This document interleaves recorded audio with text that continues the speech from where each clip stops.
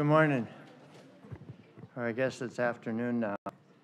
Um, So this is the 45th annual Dodge Lecture, which is incredible all by itself. Uh, Hopefully you all got um, little pamphlets. And if you look in there, um, not only will you see nice, kind words about our speaker, but on the page before that, you'll see the list of the Dodge lectures that we've had in the past, and it's a who's who of endocrinology. And it's in honor of Dr. Dodge, who is an endocrinologist back when endocrine first started um, at at St. Luke's. And he's been honored, and we put the speakers through a bit of a grind because they, they visit uh, all three institutions. um, And the endocrinologist in town, uh, we did that last night. Uh, We enjoy that. And then uh, at all the, at KU and here, they will uh, interact with the fellows. We'll do that after his lecture. We'll have lunch and, uh, with the fellows and, and the, the uh, Dodge lecture. Um, Dr. Safer is, uh, uh, has a lot of titles, and his CV is heavy. Okay? Um, He is the executive director of Mount Sinai Center for Transgender Medicine and Surgery and professor of medicine at the Icahn School of Medicine at Mount Sinai. And before that, he actually developed the transgender medicine uh, and was director at Boston Medical Center. Um, He has helped develop some of the guidelines um, and was the inaugural president of the U.S. Professional Association for Transgender Medicine. He's also participated in the development uh, and guidelines for how transgender athletes fit into um, uh, competition. Um, And uh, we are just thrilled and delighted to again have such an outstanding person uh, as our Dodge lecturer. And we're delighted to have you, Dr. Safer.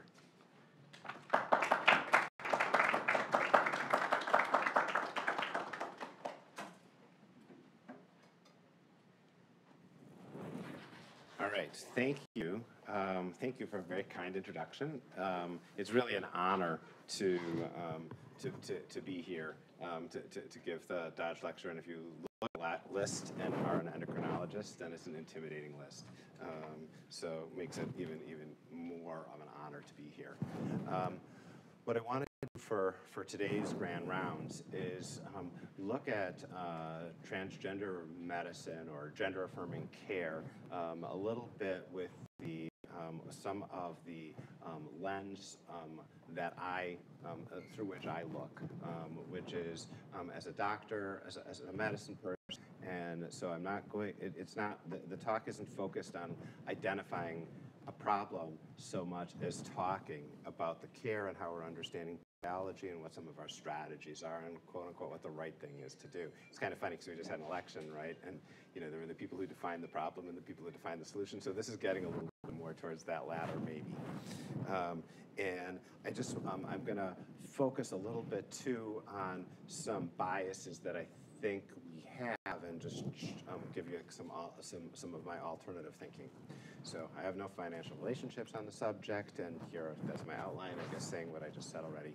Um, so kind of framing the basis for our current strategy as, as, as, as medical people, as biologically oriented people, um, and then also the, the strategies that are involved in the game.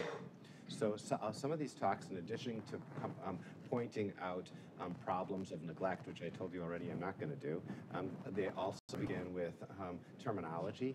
And I actually do, I, used to skip that too, but I decided that I have to do that just a tiny little bit because I want to refocus folks a little bit in that space. So usually these talks open up with somebody telling you things like um, gender is a construct, which if you speak English well, you might know, and sex is what you use to refer to biology. And then they proceed to have um, be unable to define anything else because um, they're just not being precise with their terminology. And so, um, so they, um, so, so my plea for us medically minded and scientifically minded folks is to be specific. And so, therefore, when you talk about, so I don't even use the word gender usually unless I'm talking very, very globally about parts of speech. Um, but if I'm talking about gender identity, I talk about that. And if I'm talking about gender expression, I talk about that. And if I'm talking about um, uh, sex, um, uh, global biology. I will talk about um, chromosomes and genes and whatever it is, but I'll be specifically in a, specific in identifying them so that we um, really can be precise in, in, in, terms of what it is that we're talking about. And then um, here's part of, of the mess. Um, we have this term called gender identity, um, which uses the term gender, which is a construct, and identity, which is something that you choose, which we medical people are using to refer to something that is biological. It's that area in your brain that tells you what sex you are and what role you're supposed to play in reproduction. That we have, animals probably have it too. We just, you know, are gaining an appreciation of this being part of sexual reproduction. Um, and uh, maybe we need two terms because our social science colleagues sometimes use this term the way the language suggests a construct and how they want to self how people might want to self-identify but that's not what we're treating with hormones or interventions. Um, we're, we're, we're treating that, that biology when especially it doesn't align with other elements of somebody's biology. And um, like i say maybe we need a second term. Um, and then I, one other um, term that I want to reference here is the, um, the, um, the term gender dysphoria as a mental health term. We just spent half a century thinking of being transgender as a mental health concern, and it's in the DSM. And, the, um, and we, we use these mental health style definitions, but there, if, you, if you have a certain biology and certain other biology, and there's a little incongruence, and it makes you transgender or what, however you want to label it, more in a non-binary sort of way, in a you know gender diverse. Um, that doesn't necessarily mean you're sad about it. You know, you don't have gender dysphoria. You know, so so that that whole that whole framing is wrong.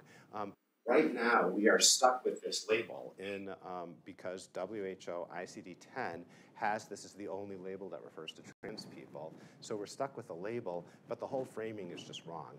Um, and if you have people who are looking for interventions to better align some parts of biology with other parts of biology, that's transgender. We label that gender incongruence. The hand is waved.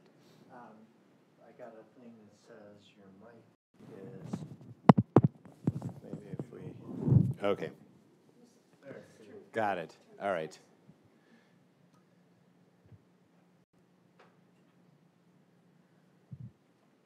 Well, the people who are online, maybe they should be in person, you know? We can try that and see if it works. Uh, right, those are intentionally off. I learned from the AV guy. All right. Okay, no trouble. All right. Um, so gender dysphoria, um, so this is going to change. We know it already. It's like the committees have been met. WHO ICD-11 is going to get rid of this term and um, is going to and, and is going to have a new sexual health chapter where there's something called gender incongruence, whatever you think of that word. That's beside the point. It's to, but it's framing it better. And then people who have gender incongruence might be it might be reasonable to do some interventions. And if these people have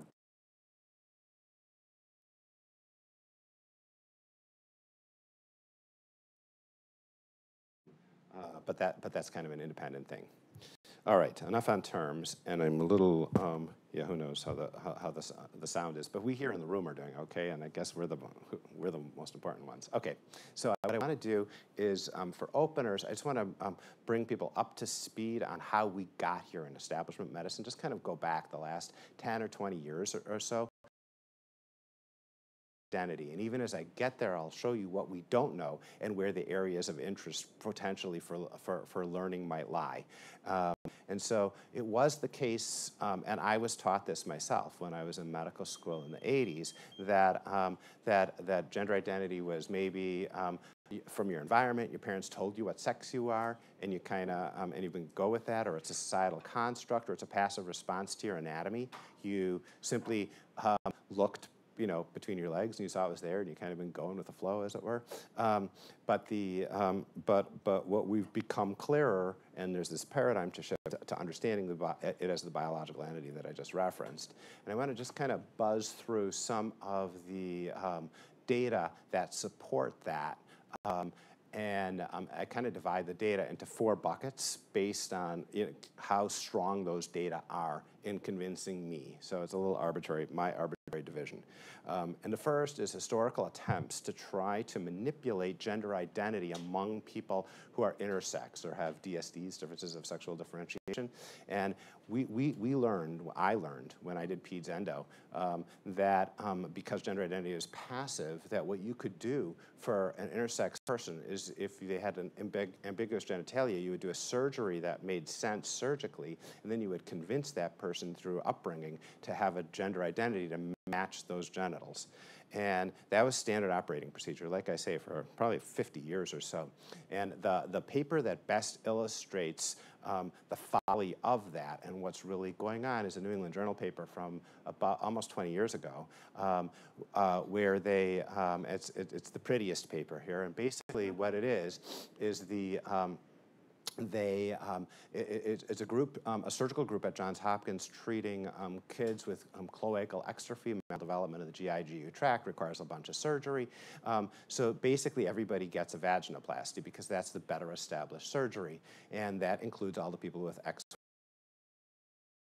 of people who are um, who say they're trans or gender diverse or, or whatever, um, the, um, the, the, you get numbers like a half a percent or a full percent or, or something of the population might say that about themselves, which just means that 99% say that they're not transgender, right? So therefore, if you have six, um, a bunch of kids, this is 16 people here, you would predict that maybe all, or maybe 15 or 16, if they are have XY chromosomes, would have most things aligned otherwise, including their gender identity, they'd have male gender identity. So basically you take 16 people where you guess that most or all have male gender identity, give them all vaginas you, um, surgically when they're in, when they're when, when they're infants, and you raise them as girls. You give them very what you stereotypically what you believe to be female sounding uh, names, and and really I, I, don't know. I mean I, I realize this is a this is a, a, younger crowd, but if you're familiar with the Truman Show, um, and if you're not, you should look it up. The, um, it's um, it's, um, it's exactly that, um, and the, the kids only learn their medical history when they turn age 18.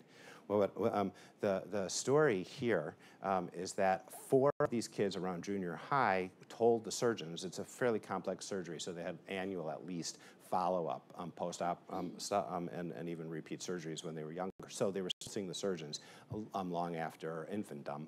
And they, um, anyway, four of them living as girls, given feminine names, being forced to walk with a Barbie wherever they went, um, dressed in, you know, what in, in the United States we consider a female color, pink, you know, whatever it was, said that they were boys.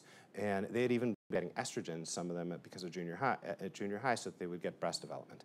Um, and, um, and they still said they were boys. And, um, and so they, they went and credit to surgeons, they actually went and talked to their patients, and, um, and that's it. They got their New England Journal paper. And the upshot is this as of the time they wrote their paper, every single kid who knew his gender identity um, uh, other than one who refused to talk to them because um, of the, the, fact that they've been lying um, to the, to the um, everyone said he was a boy. And they only had left five kids who did not know their medical history or still living as girls, details not well known. So just striking the failure to be able to coerce somebody to have a different gender identity than's pre-programmed. And there are a bunch of case series out there um, that kind of look at this stuff, but uh, this is kind of the prettiest, the prettiest study in term, um, on the subject just kind of um, moving um, to, um, to other buckets. Um, and for me, the next most convincing bucket is twin studies. And when I say twin studies, there's not a lot of studies. There's not a lot of, uh, transgender medicine is kind of, you know, um, weak broadly. But what this is, this is really one paper summarizing, as of the time it was written, all the case reports of trans people with twins. Um, and whether the twin was trans or not. That's the whole dang thing. So basically, the people who, the trans people who had fraternal twins, in all the cases in the medical literature as of the time that this paper was written 10 years ago, um, the, the, the twin relevant point then, and, and, and this is not totally true uh, in the sense that I have patients who are twins or fraternal twins where they're both trans, so it's not absolute, but, but, but, um, but still not that likely. Um, by contrast, among those trans kids who had a um, who had an identical twin, the identical twin was trans 40% of the time. And if you um, and uh, you know if you the, this is again just a, a, survey of case reports, but the um, but the but but um, there's some control for them age, um, everything the same, but somehow if you have more DNA in common, more likely to be trans, less DNA, uh, both be trans, I mean, less DNA in common, less so. And just gets at a little bit of a, of, of a biological connection. It does for those who, um, sometimes we have to educate our, our non-medical um, uh, um, colleagues that identical twins are not really identical, so it's only a 40% um, uh, um, congruence um, rate here. Type 1 diabetes, you get like 50%, PCOS, 70%. Um, identical twins are just really similar twins, is maybe what we should call them. So, um, so the, my, my next little bucket there is actually the bucket where that gets at mechanism a little bit. Because one thing, you know, it's all well and good various associations and say, okay, therefore it must be biology. But um, to me, next steps are to even think about how this even happens, um, where, where gender identity even comes from. You know, we just, uh, like you heard me say a few decades ago, I don't think we realized we had gender identity. We just thought we were going with the flow. But what do you know? It's programmed. We find this all across biology. I'm a thyroid guy um, historically, and in, in thyroid forever, we used to talk about the thyroid hormone receptor, and we used to think about thyroid hormone being passively diffused across cell membranes until somebody, um, deter, uh, until, the, um, until those cell mem membrane transporters were identified, and we found another sexual reproduction. It's not all about your gametes. What do you know? You need the you, you, need organs, et cetera, including um, gender identity, uh, knowing what role you're supposed to play, knowing in, in, in quotes here. And so my, my, third, my third item here is in utero androgen exposure data. And it's not like it explains all of gender identity, but a couple of interesting points. So on the extremes. So people who have virilizing congenital adrenal hyperplasia, so XX chromosome, you would predict, you know, 90 odd percent would have female gender identity just by the odds. And um, uh, what, you, what you observe is that if you poll them, depending on who, if you believe the people doing the polling, 5% of those individuals have male gender identity.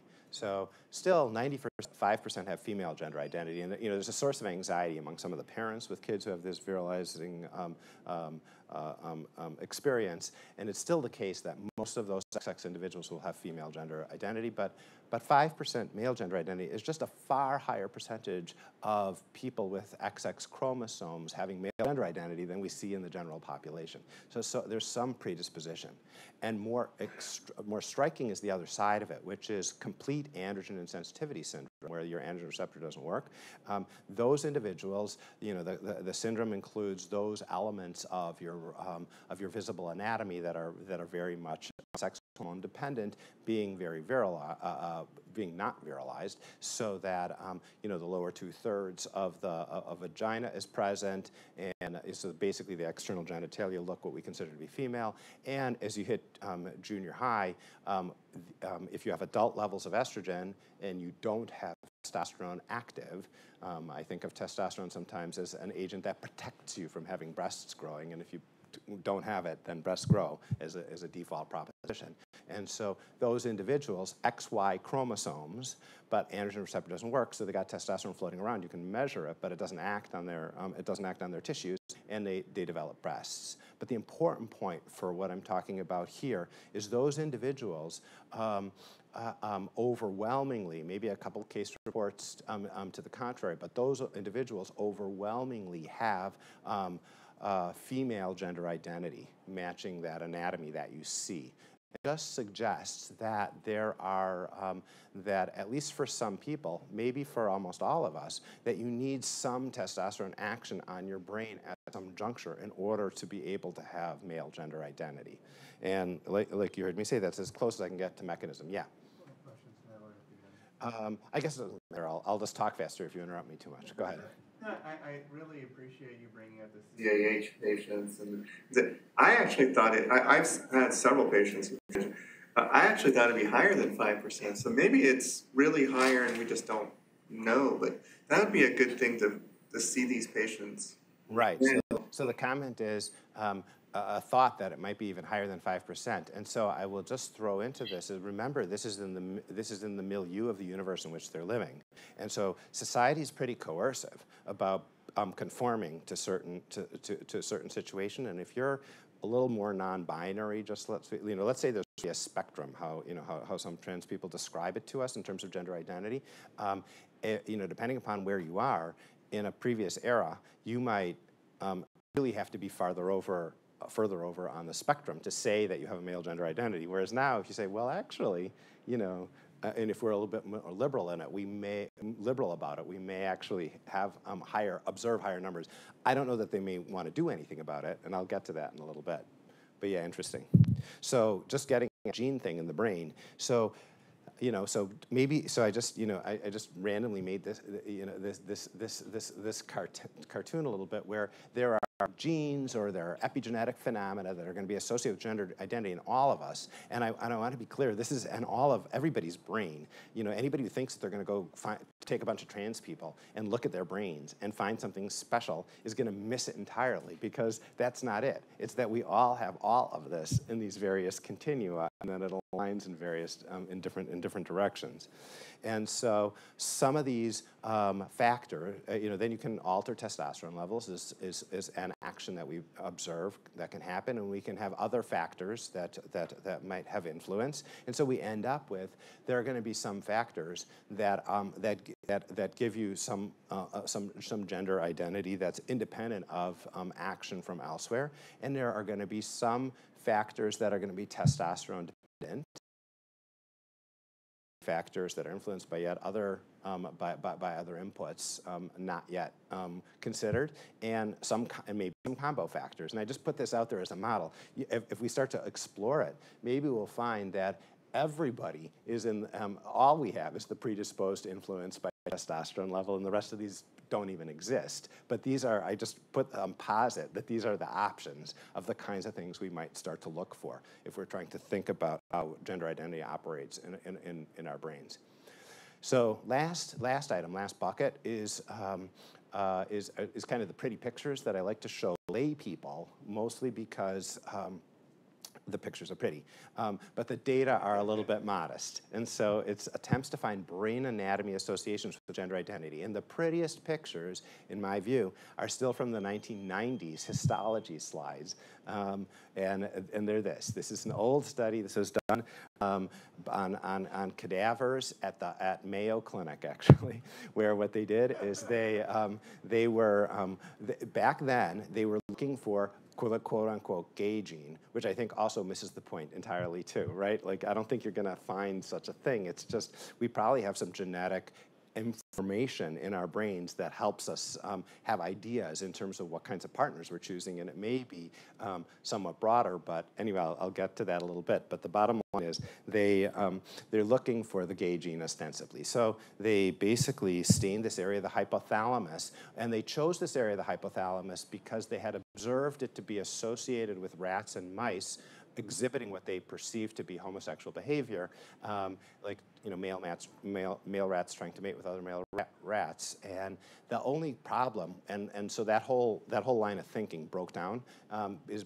um, because what they um, didn't um, do with these rats is they didn't actually talk to the rats. And so they didn't know if the rats were gay or trans. And so it was all very confounded. But in the meantime, the, uh, they, they looked at this same portion of the hypothalamus in, in humans, and they did this staining, very random staining, by the way. There's no, this is like, talk about a random paper that gets you in, uh, got you in, gets you in nature. But anyway, um, so cadaver, ostensibly, this is a cisgender man who is ostensibly straight, um, and you get this deep staining pattern. And this is ostensibly a cisgender woman who is, um, I don't I don't know if they care about her sexual orientation, um, but is not, um, but doesn't stain. Okay, and then they decide that, that the gay man is going to be somewhere in the middle. That's, that, that's their hypothesis. And so they um, stain um, um, some, again, a cadaver. You couldn't talk to him anymore. Um, but historically, ostensibly, he's cisgender and gay. And, um, and he stains exactly like the guy who's cisgender and straight, and so this is negative data. Um, but they were at that time confusing gender identity with sexual orientation, like a lot of people have done.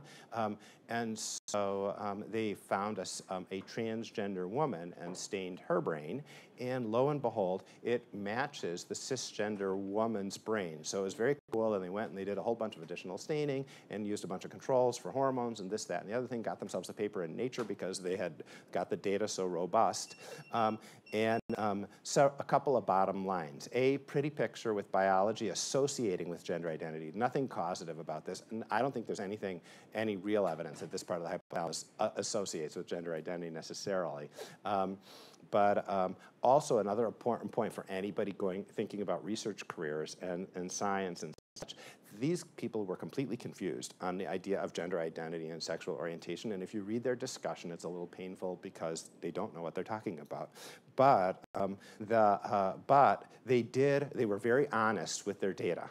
And so be honest with your data because then later, even if your discussion is, worth, is worthless, um, we will still be able to use your data for subsequent studies. And so just a, a plea in that, in, in, in that direction. All right, so here's therefore the, the cartoon. You know, we kind of thought about, you know, so this is sex, right? You know, so, sex meaning everything in your biology for reproduction, right? So you need some gametes, you need some um, organ gametes or whatever your, you know, whatever position you have, right? And um, you maybe need some sex hormone levels to influence those gametes, influence whether you want to exchange gametes. And, um, and then I add to that um, you also have to have an opinion about what partners you're looking to um, to engage in your in, in, in, your sexual reproduction activities with, and we call that sexual orientation. And you have to know what role you're playing in this whole process. I mean, it's almost easier to conceptualize with animals, right? That if you've got like a bird, you, the, the, the, the so-called male bird needs to know that it's his job to go, I don't know, fertilize the egg or whatever, and not just to sit on the egg, in which case nothing will happen. Um, and so um, analogously, we have that. And maybe it's a little bit more nuanced in us, but the point is we have that. And you heard me already talk about the terminology. Maybe we should be calling that brain sex or something so that the social science people can have gender identity. But in the meantime, we call it gendered identity. Um, and maybe there's influence by these various things, like, for example, what I already said, with sex hormones maybe playing some role on, in some of the other elements. All right, so if this is if this is biology, then let's just go to our next steps. We've got some people where we've got lack of alignment among this biology. No shock, we have that um, when, in people who we re refer to as intersex. We you know we we endocrinology folks um, see this with regard to other elements of our biology as well. Um, and so, um, so, um, so, so just a, a, little bit of a side in terms of healthcare delivery, um, where um, thinking about this as a mental health concern had us in this fraught reality where we were forcing the patients to go to mental health providers to kind of convince them that they were really transgender. And then those mental health providers were then casting about for medical and surgical providers to do the interventions. And those of us in establishment medicine all know that we do not treat mental health concerns with interventions uh, that are medical or surgical, we kind of consider that to be abetting their concern. If it's a mental health concern, it requires a mental health solution. Um, and so it created this disconnect within medicine, and it caused the field to be a little bit of a, um, um, a, a, little bit of a fringe field, frankly. Um, and if we reframe it a little bit, and, and if you look, it's like, I didn't invent this. This is how we deliver care in general, right? And we medicine folks should be nodding when we look at this because it's basically the patient has what they perceive a need for a medical intervention. Um, and, um, and they go to their, their, their, their primary care provider, and their primary care provider has experience with the intervention or doesn't experience with the intervention, but, um, and they can be helpful on their own or they seek their specialist context. So we endocrinologists know how the hormones work and we could be helpful in that space. And those mental health providers can be helpful too because going through all of this may require some conversation on the part of the patient in terms of determining what they want to do or what's really true or where they fit, et cetera. I'm not saying the mental health providers have no job. Their, their jobs are secure. It's just that their role is so different in, in, in, in, in the paradigm the, um, and then surgeons and other specialists. So what is it that we're actually then doing medically? We're a group of medical folks, so we're, let's talk about like our medical stuff, and I'll talk very briefly, like in one slide, about what our surgical colleagues do. Um, so, um, so, the, um, so us medical folks are aware of this um, reality, which is that trans people come to attention in late adolescence or adulthood, that is heavily through puberty. Um, and uh, you know, why is that? There's no test, there's no scan. I don't know that there's going to be a test or a scan anytime, right? You heard me talk about gender identity and all the genes that might be associated and how cool that would be to look at, but it doesn't mean I'm going to have a test. You know, rheumatology is their fantasy future. It's not, you know, it's not, um, not, not, not, coming, not coming soon. Certainly not endocrine, where you could just check a TSH and know everything. Um, so, um, so is this, so, so we're dependent on people knowing what gender identity is, appreciating it, and then being able to explain to us in language so that we all believe them and help them with some intervention, right? So how old do you have to be for that to happen? And um, there's a, so there's an articulation and awareness thing, and also I think uh, we talked just a moment ago about the CAH people, and if more of them, more more of them have some male gender identity than we've even appreciated, that you know there's an element of that with uh, with with with trans people too. Um, you're at, most kids are trying to conform.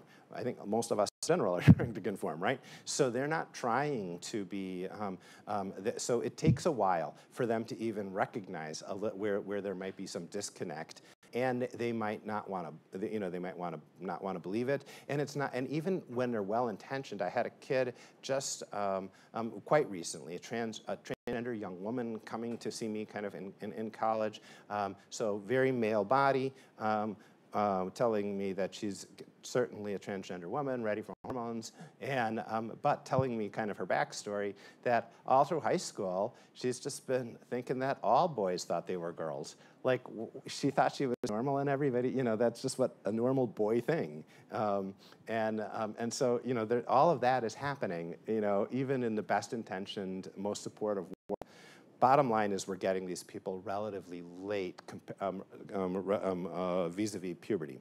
Other thing that I want to throw out there that I think you need, that we need to be considering as we're going, going considering treatment is that um, the, the people who are looking for interventions, a lot of trans people are not actually looking for much in the way of interventions, but the people who are looking for interventions, hormones and surgeries, really um, are, are, are, pretty, um, hit fertility pretty significantly, and fertility is a priority for a lot of folks, and we do have to be thinking about that in terms of our, uh, uh, strategizing. Right now, we're kind of ad hoc. So, um, well, the cartoon here says, um, and the, um, good Lord, Ethel, you can't appear in public like that. And, um, and so that's the good news about what, when we're trying to change bodies, as as we age, all our bodies become kind of the same. And, and so regardless of your gender identity, and so it's all going to be okay eventually. But the, um, so the, um, but the question is, what is it, what, you know, is, is for all of us in the interim before we get there? Um, so, um, so this is kind of my favorite picture to summarize part of the impact of hormones. Um, and so this is from what, a little over 10 years ago. These are identical twins. They're both XY. The one on your left is transgender. And all that's happened, this is just shy of their 15th birthday, but all that's happened as when this picture was taken is that she's received puberty blockers. And so it just accentuates what we think of as a typical female puberty as being kind of this linear aging process. But what we think of as a typical male puberty includes this massive bolus of testosterone at some juncture with this inflection point and all these characteristics that you accumulate pretty precipitously. And so look at him, look at the cisgender kid, because that's actually the point. Um, and you were expecting a little hair over his lip maybe, but look at the squaring of his mandible, look at all that testosterone action. Um, look at the, you look at, look at, look at his larynx. You can envision that his voice has dropped. Look at the musculature on the side of his neck. He's a known quantity. He's known to be a bookworm. When this picture was taken, he was not going to the gym and lifting weights with his head, but, um, um, but that is just testosterone action on the SCM muscles. Um, so, the, um, so, so just something to be aware, because most of our trans feminine people will have, gone, will, have will have acquired some of these characteristics, even when they come to us relatively young, and that does influence strategy. And the other thing to know, and this is super important, is we so many people, our patients, but even some of our medical colleagues, are, are very much into this estrogen versus testosterone because we kind of learn this very simplistic way, and it's just not that. Um, we, um, we, um, uh, uh, if you look at your, like your normal ranges in the lab and things like that, you'll observe that the degree that estradiol is a legit surrogate for estrogens in general, um, we adults have very similar um, estrogen levels. Uh, uh, maybe it's a little higher typically in what we could typically consider female, but not by much. The big difference is all on is all on the testosterone side, where it's maybe a tenfold difference um, in what we consider to be typically male versus typically female. And so what we're doing strategically medically is we're manipulating testosterone. That's an enormous point. We're not giving our, our, our trans feminine patients boatloads of estrogen. We're blocking their testosterone. And the guys we're giving them, we are giving them testosterone. So just kind of going down the line real quickly here for the kids, strategically, um, we would like to avoid permanent characteristics if we can. Um, so for the prepubescent kids, there's nothing right now. It's all in the political stuff about treating, you know, children. But we don't, we don't. There's nothing to do for children. They're hormonally indistinct. Um, we don't do anything to them except give people good advice, um, be respectful, things like that. Um, a haircut, you know, clothes they wear, whatever. It depends on the, the group they're hanging out with. Uh, you know, and you can reassure parents and colleagues, by the way, that that's clothes are, are totally reversible. Um, it's you just give them to the cousin. So um, in case silly as a phase. Um, but then we have kids who hit puberty and, um, and, and they hit puberty at an age where it's still, where, where they're a little too young for us to totally believe that they know the implications of what it is that they might be asking for. And so we use this very conservative intervention called puberty blockers, where we delay their puberty for a year or two while we think and consider and spend more time with them and bring in mental health people, which is standard. Um, and, and think this through, and sometimes have, have the parents get on board. Because um, we don't want them to go through the puberty that doesn't match their gender identity if they really are trans, because then we're going to have a whole bunch of characteristics we're going to have to deal with, um, you know, in the other direction. Yes? Do you still have to wait until kid is like technically Tanner stage two before you're allowed to start? Tanner 2? And the short answer is yes. So here's the lie about Tanner stages, um, which is um, it's not the lie, but it's like elevators in the United States. Um, it begins at Tanner 2, okay? Um, Tanner 1 is like being in the lobby. Um, there is, you haven't begun puberty by definition. That's what it means. So yeah, Tanner 2 means something happened. The elevator went up a little bit, okay? Um, so, so yes, and, uh, and recognize too, though, that that's a floor. That is, there's no point in giving a kid a medication before they even have any puberty. Um, nothing, uh, so that, that's just, um, you know, a risk for no purpose. But the, um, but you don't have to start at or 2 necessarily either, and I'm not going to get into that right now. This is beyond scope of what I want I'm talking about right now. We could, we could get into that a little bit. We're very focused on GnRH agonists being reversible in case the kid is not trans or doesn't want to otherwise have treatment. We're very still focused on that. And the trans kids, you know, you know, God help them. But the, um, um, and, and, and so, um, and, and in that space, we're very confident about the GnRH agonist reversibility. We've been using it for kids with premature um, uh, uh, puberty for, for, for, for um, quite a while, um, uh, for decades. Um, comfortable in that space. But, but if we're thinking about trans kids, trans kids, and most of these kids who come forward and say they're trans, they are trans. And so we put them on some puberty blockers for a little while, and they really do want more intervention. And actually, there is a little story there, which is because if we're thinking about fertility, maybe for a trans kid, we might have wanted to wait a little bit um, to get them a little more development before we start doing stuff. Um, so anyway, there is a little bit of a story there. But in the meantime, yes, certainly Tanner 2 is the floor. Um, and what I was just talking, discussion of, you know, if the, how well established things are, how clear the kid is about when you can start your sex hormones. All right, for transgender men, the treatment is it's no biggie. And for purposes of this talk, I'm going to be completely agnostic. How you give the testosterone, injections or gels or anything else you got available, um, is, is, is okay with me. It tends to be lifelong. Our, um, we endocrine folks can, should be able to help anybody with this because it's how we give testosterone to anybody who needs testosterone. We have the exact same parameters. We follow, you know, hematocrit, you know, we look at the effect on erythropoiesis just the same as, as any, any other person who needs testosterone.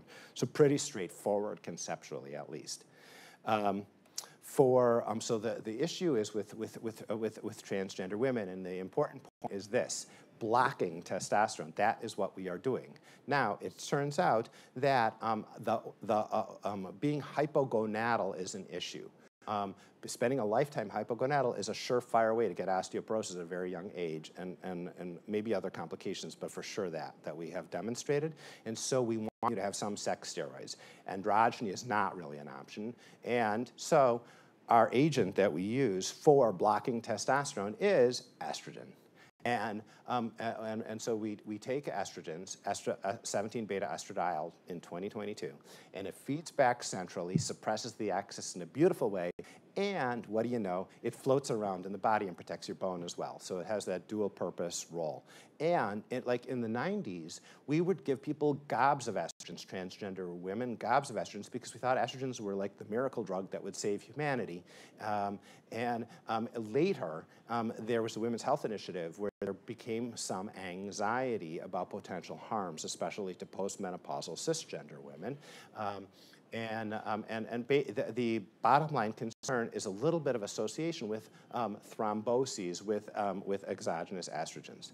And so we create these cocktails where we um, have these, um, these adjunct anti-androgens to lower the testosterone or block the testosterone a little bit so we can give a little less estrogen and expose people to a little less risk. And that's kind of the current, the current environment.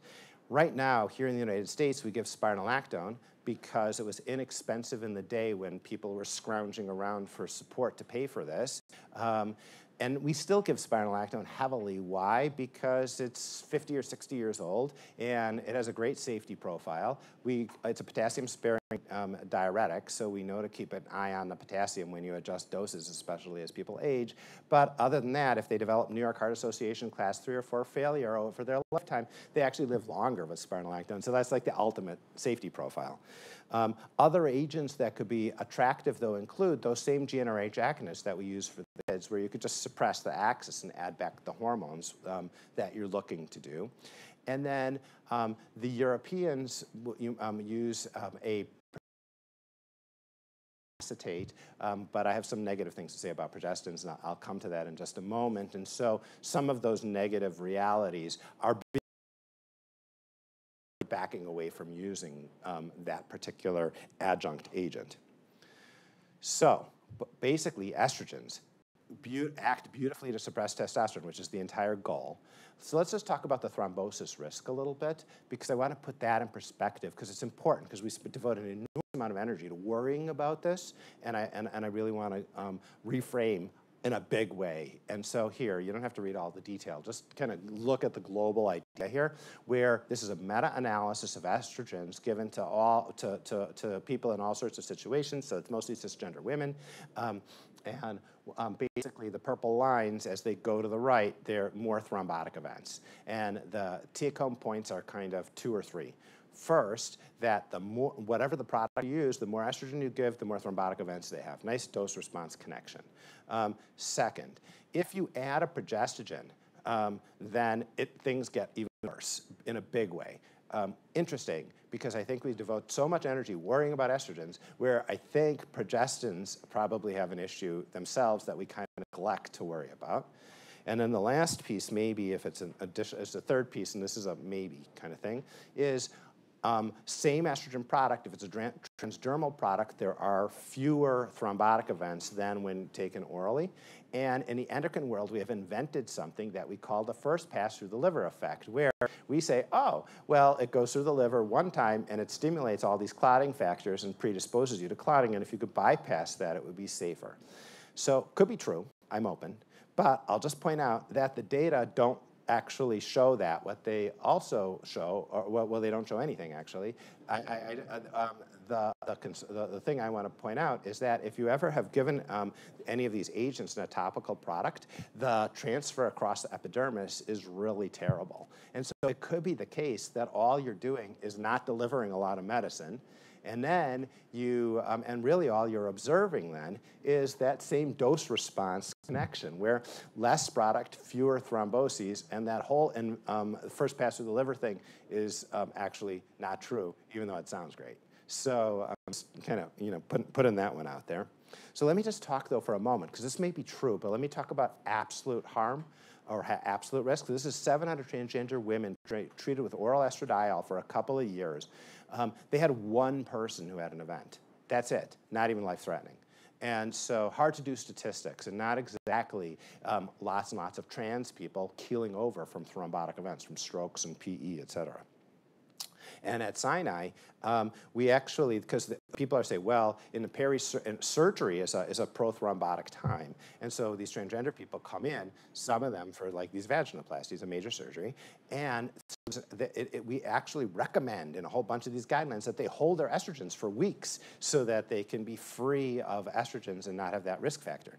So at Sinai, we had a big argument about whether this even made any sense or not. And the bottom line of it is we had about an 18 month period during which we did almost 500 surgeries where we held their estrogens just like everybody said we were supposed to. And there was one recorded thrombotic event that entire time. It's an academic medical center. We're very aggressive with our post-op VTE prophylaxis. You know, everybody ambulates, blah blah. You know, um, they wear those leg legging things, um, and so that's that's the result. Eventually, the surgeons pushed back and and, and kept giving the estrogens to the patients, and um, in that subsequent 18-month period, almost 600 surgeries we had no recorded events.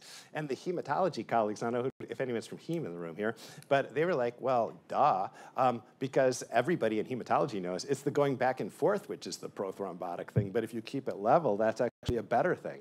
And um, it, we're all looking at the same data, by the way, but it's interesting the different interpretations of those data.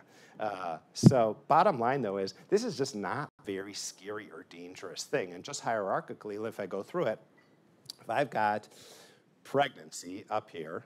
Um, then I've got terminating, terminating a pregnancy down below it. Then I got lifetime risk of oral birth control using ethinyl estradiol, the most thrombogenic estrogen. And then I've got the estrogens used for transgender people. You know, just you know, just just a little perspective there. All right, so um, oh, agents. So spironolactone. Um, you know, we're medicine folks, so we know about the um, inhibition of the, uh, um, uh, you know, even though it's supposed to be mineralocorticoid receptor inhibitor that acts on AR. And there are, there are two studies in the literature for, um, um, for inhibiting synthesis of testosterone by spironolactone metabolites. GnRH agonists, very clear mechanism, very effective. We had not used it historically because it was a little more expensive. It's still in the great scheme of the healthcare dollar, not very expensive, not compared to, um, you know, cancer treatment or heart treatment or. Um, so maybe that's out there as, as, as a possible agent.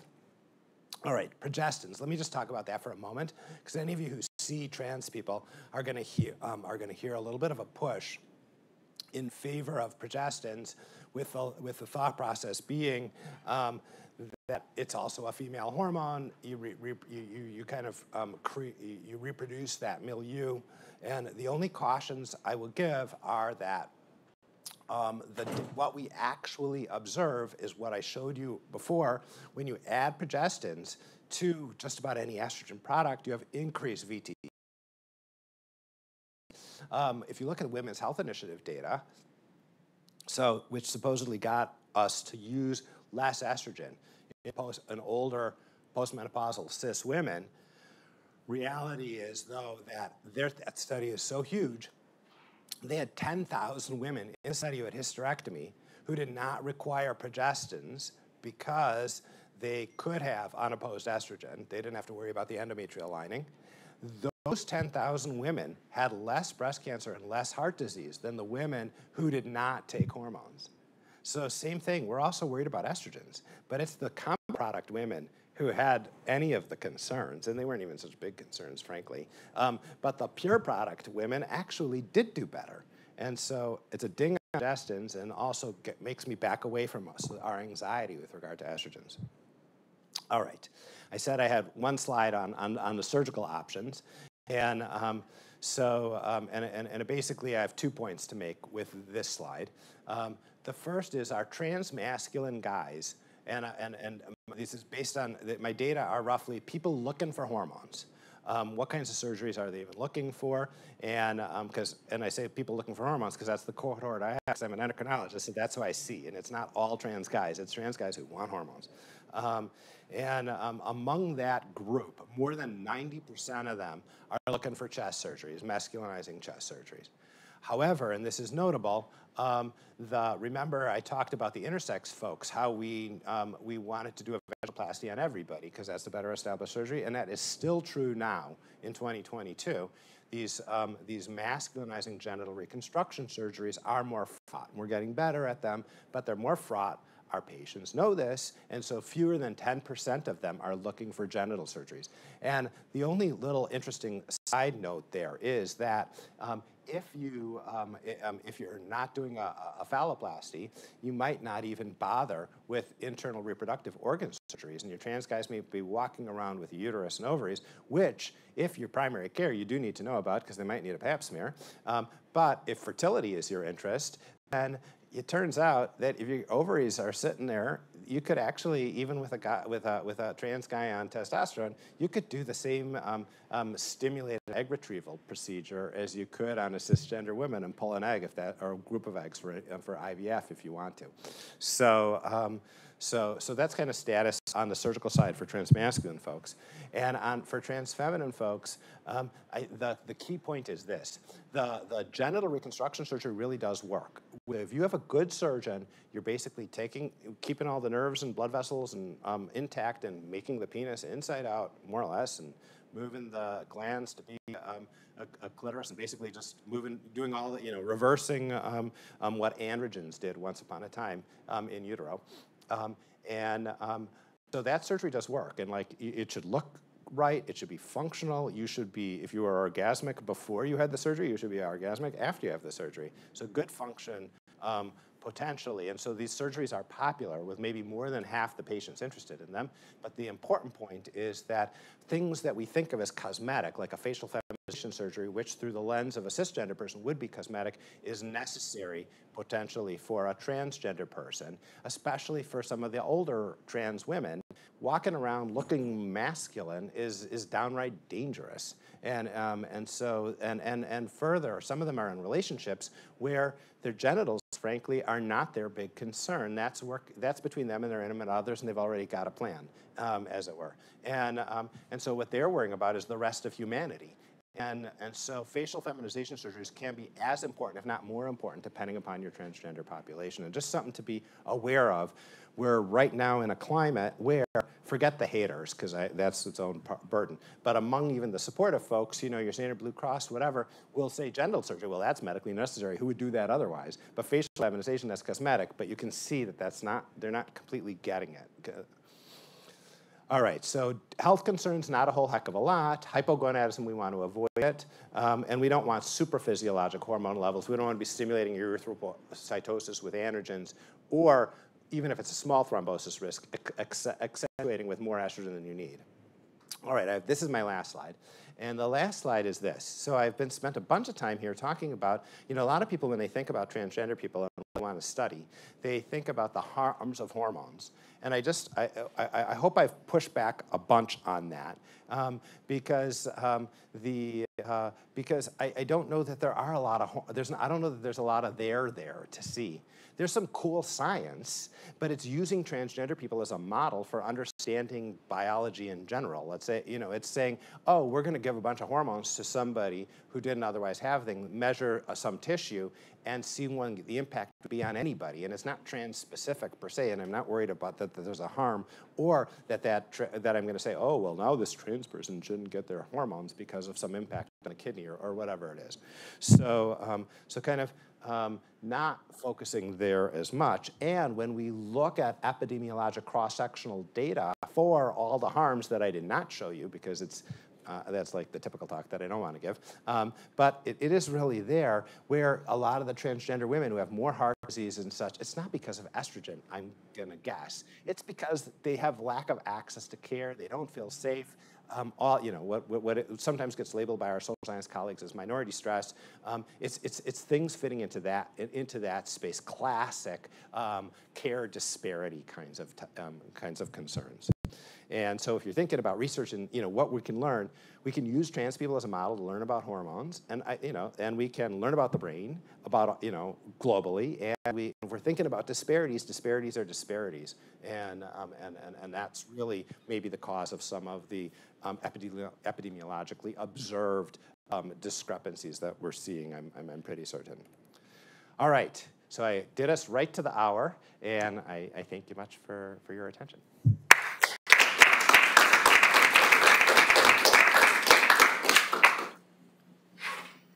Is that you? No, it's my son. Okay. right, but, but it's a real picture. I, I'm not going to tell you which highway department came up with that.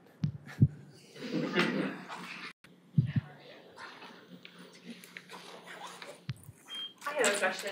Um, I love how this was evidence based and you brought in a lot of articles. Some of them are from a little bit further back, and more often um, we hear about non-binary and is there much in the literature now about how that plays in?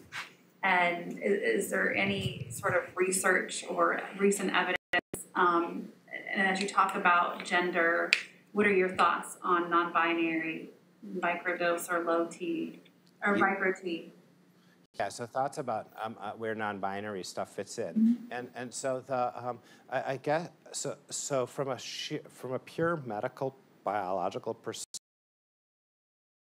actually, where all of these things might be multifactorial, and so when things are multifactorial, you create lots of opportunities for a continuum.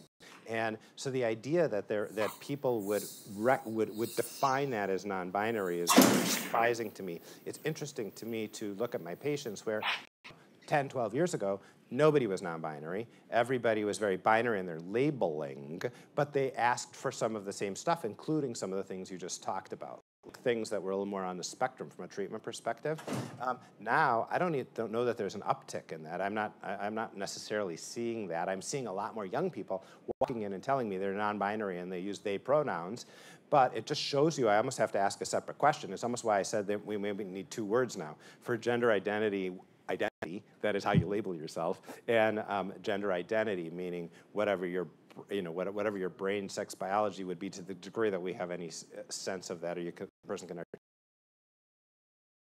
and, and, and the point then ends up being that I have two questions. You know, what are your pronouns and, you know, how are you labeling yourself, basically? And, um, and, but that doesn't get me anything. I still don't make any assumptions. And I say, oh, and what are we doing? Because I have yeah. enormous numbers of, of they pronoun non-binary people saying, oh yeah, I'm here for conventional testosterone or vice versa. Yeah. Um, and so that's, that's about as much as I would say. And then from an endocrine perspective, the key um, concept is hypogonadism is a problem. People who want me to ablate their gonads at a young age and leave them exposed to a lifetime of that, really a problem, okay? Not okay. But along a continuum of sex steroids, from a very male profile, we, we would call it, or a very, to a very female profile, I don't think I've got a reason to argue anything, one being better than the other or anywhere along the line. So if somebody wants that, I don't care what their entire logic pattern is, just as long as they're consistent, you know, and I'm, and I'm believing that they're, that they're legitimately, you know, gender diverse doing this in a, in a you know, there's an, another mental health concern that I'm accidentally abetting, which is pretty not, for, you know, not typically the thing, then yeah, if somebody wants in, they want like a little androgen. And only ca further caution I will say is that all of our biology and its sensitivity to hormones is heterogeneous.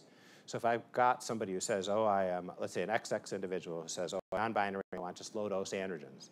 Mm -hmm. And, I was, and I would say, okay, that's fine. I wouldn't do hypogonadal, but kind of a little mix there that kind of uh, is, is somewhere on some spectrum. The caution is the person, the rest of the person's biology might be very binary. And so the, and I, it's, my, it's my Murphy's Law rule, which is my trans women who want big breast development, they get nothing, and it goes on for years. Okay, and my um, my person who talks like you just said, they walk in and I give them, a- I, I, they open the testosterone, they have not even done the injection, they already grew a beard. Yeah. And they just better be ready for that. Yes, yes, that's a good point. Alan, do we have any use of GnRH for increasing height in, in a shorter child or physiological shorter patient? Uh, It delays puberty, you know that delayed puberty is associated with the better height. Yeah, so the, um, so the short answer is I don't know any uh, of people doing this in a careful way. The concept has been considered, especially when you're giving kids like growth hormone with, with height deficiency. And could you, could you use that? Part of the problem, yeah, it's, it, it, it, it, it's all a little and I haven't seen anybody actually with a formal protocol doing that. I guess it's about as much as I could say right now. And we don't know, very confounded. There's a couple of papers that came out with height with regard to GnRH agonists out of the Netherlands um, just this past fall. Um, but they're massively confounded because they give, the kids present really late. And so they got a whole bunch of people who ended up closer to the height you might have predicted with their earlier puberty. But then you look, they weren't Tanner 2 you know, they were Tanner 3 and 4, and they already were following a bit of a puberty, you know, of, of, of, of, a, of, a, a puberty before it went, so it's confounded. I had, uh, I saw a post somewhere, and I'm not saying I agree with this, but I thought the question was interesting from another person, um, that said that there was, they have noticed an escalation in trans men over the past few years. And in the past, it used to be more trans women, and I know there's a lot to talk about in this post, um, which was on a medical, like, conversation, social media thing. Um, is there any data that compares sort of, you look at assigned female at birth, assigned male at birth, like, are we seeing, and I know that gender is fluid and there's a spectrum, but I mean, in your practice, would you say it's sort of, if you're looking at trans males and females, it's 50 50, or are you seeing a difference? So, um, so things. Um, so first of all, I don't. People say fluid all the time. I don't observe much fluidity. I see a lot of spectrum, but Okay, yeah. but, it, but but everybody says it. But I, but um, anyway. So, uh, but I think it, it's that's like a party line statement almost. Yeah. So the um, so with regard to the shifting ratio kind of Yes, thing. yes. Um, yeah, I mean, bu- bunches of thoughts. I, I get this heavily from people who are trying to undermine our care, and it comes and from a bad place. big. Exactly. And so that's not helping me because I want to be thinking about this as a scientist and what's Yeah. really true. And, um, and so th- sticking to that, to, to a constructive um, conversation, um, then um, you can envision, first of all, that uh, in, in our society, our acceptance of, of, of more masculine presentation Yes. um, uh, was higher among, among uh, and, and, and might have been sufficient, especially if you envision a continuum of gender for some more masculine gender identity folks who now are coming forward and identifying themselves as trans, but were okay with just dressing more masculine for where they were in their gender identity in a different era. Um, and um, uh, so you can, you can kind of envision that kind of thing happening, and now we're seeing a little more, therefore um, people worry about this. We're, we're, we are in such a sexist society. You know, as my trans feminine Yeah, colleagues yeah, point out to me, yeah. they're like, you know, when we get over the transphobia, um, we're all still going to be really sexist. And, um, the, um, and, um, and so they, they, they talk about that kind of situation where people who are a little bit, again, maybe on a spectrum, it's worthwhile just to have the whole world treat them as masculine label themselves in a more binary masculine way um, and they get some ulterior motive. And that makes some people nervous because they don't the ulterior motive thing worries people. Then are you doing this for the right reasons? Um, but there may be a component of that. All right the hour, i think we're 10 minutes over right? So good thanks a lot. I was wondering if there's someone else. I don't think there, I don't think there's a lecture here. There's a lecture. right, great. all right. Yeah they did so we can